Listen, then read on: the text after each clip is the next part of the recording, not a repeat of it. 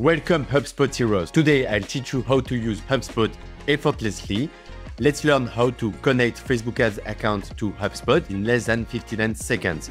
You will be able to create and manage Facebook ads inside HubSpot and it will be really handy because you will see all your impression, your cost, and of course, how many contacts did you create with this or that campaign. You will be able to see also how much revenue did you get from that campaign since you will have all your data of your Facebook ad inside your contact on HubSpot. This integration will show some event inside the contact timeline if you interacted with this campaign or that campaign all along your prospection, for example. So let's dive in. Head to your HubSpot, go to settings on the top right, and then go to marketing, then ads. Now you need to connect ad accounts to HubSpot.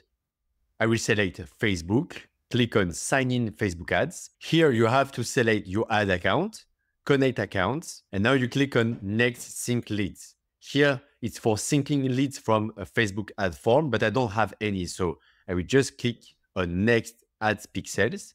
You will add the pixel of your Facebook pixel go to ads. Now you have access to that view where you see your impressions, clicks, contacts, and even customers. So customers is based on the lifecycle stage. Be sure to update that to see this kind of uh, figure. And also you will see your amount spent and ROI.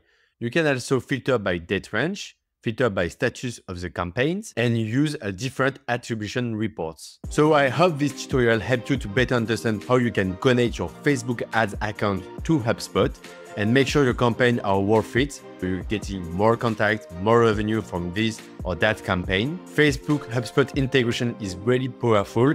I will do another video on how you can leverage this kind of HubSpot tool to drive more revenue from Facebook ads. So stay tuned. If you like this tutorial, do not hesitate to subscribe to my channel so you can get notification about new videos I'm making.